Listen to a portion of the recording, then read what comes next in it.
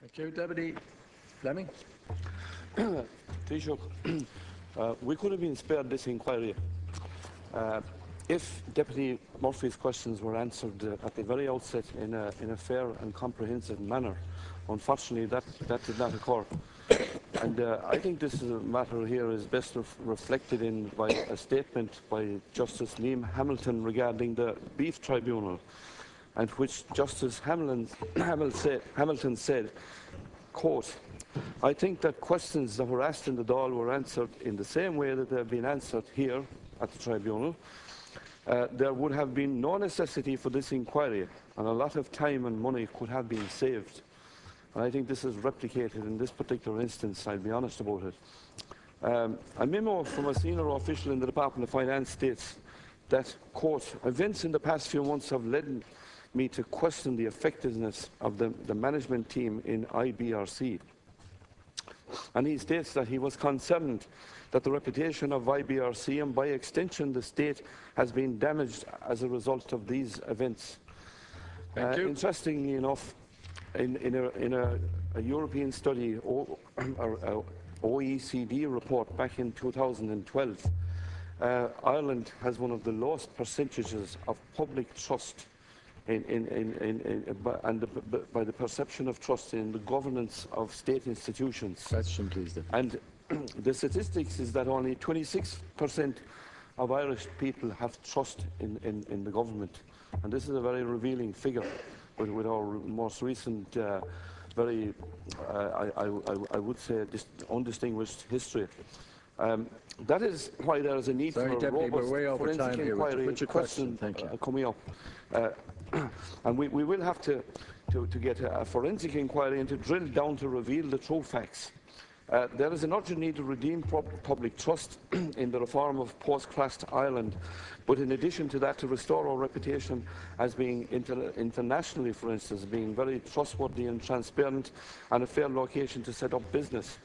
Um, Taoiseach, will you ensure that the investigation will give a breakdown of each individual transaction and, and uh, also exposure and what type of write-down happened and, and that the full transparency is revealed in each of those Thank transactions.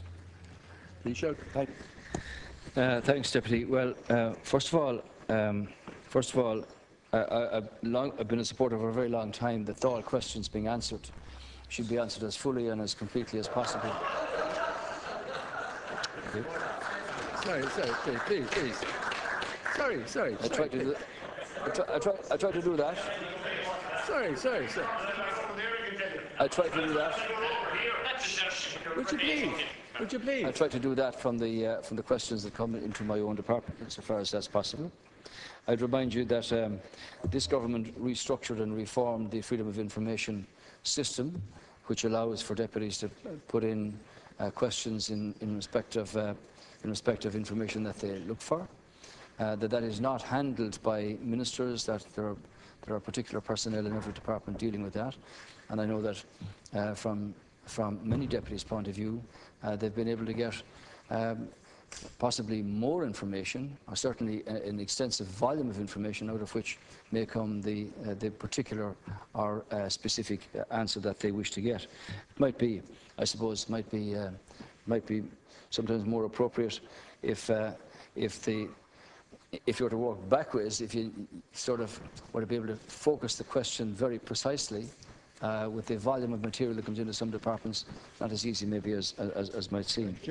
Um, public figures and politicians of the world over have never been, you know, uh, in the higher echelons of public trust.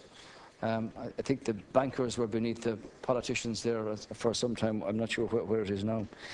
Uh, can I guarantee you um, can I guarantee you that you're going to have get answers to all the questions here?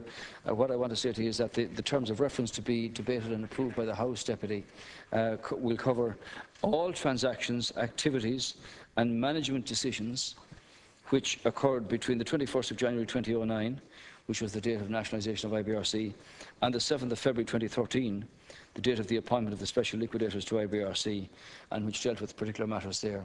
So that will become a matter for the the judge in question, Deputy. It is not for anybody in this House to attempt to interfere in the work of the sole member once the terms of reference have been signed off and approved. Thank you. That person will run, will run the business in the way that they see uh, fit to do a proper, competent, professional, uh, independent job.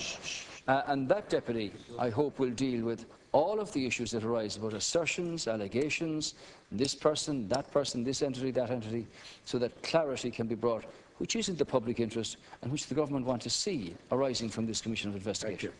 That completes leaders' questions for today.